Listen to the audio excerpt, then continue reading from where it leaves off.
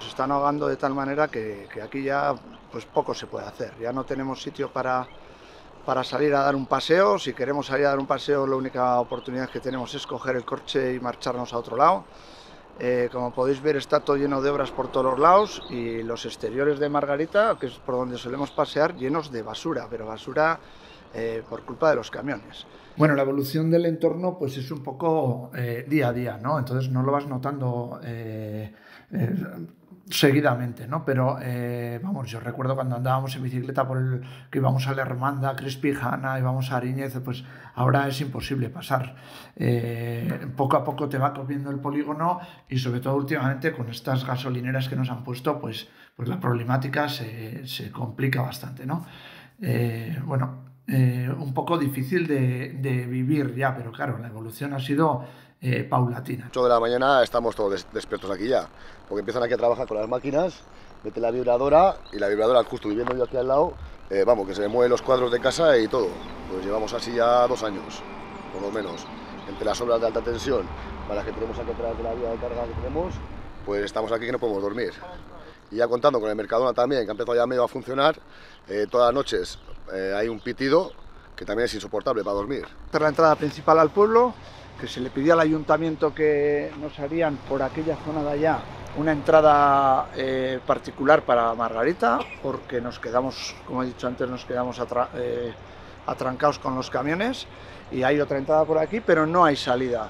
Y se dijo que, que a ver si podían hacérnosla y lo único que nos han hecho es darles permiso a los de Mercadona para que vengan ahora mismo todos los trabajadores aquí. Como podéis ver, las puertas están ahí y ahí están todos los eh, aparcamientos de los trabajadores. Entonces me imagino que en horas puntas llegará el primero, llegará el segundo, llegará el tercero y aquí tenemos que estar esperando a que, se, a que entren a trabajar.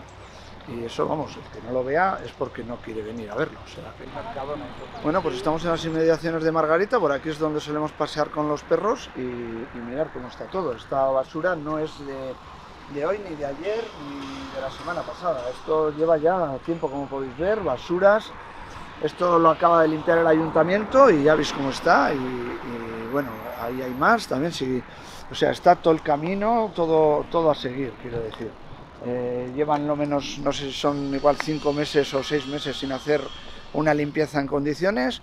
Eh, hoy está limpio, mañana ya no lo estará, porque si vienen esta noche otros 45 camiones a dormir aquí, pues todos hacen sus necesidades y tiran sus, sus despojos en nuestra zona la famosa rotonda donde cuando esta gasolinera tira los precios y hace low cost, pues como podéis ver, vienen los camiones a repostar, donde cuando se llenan los 10 eh, sitios que hay para repostar, pues se quedan en doble fila y nos, no nos dejan el paso a nosotros.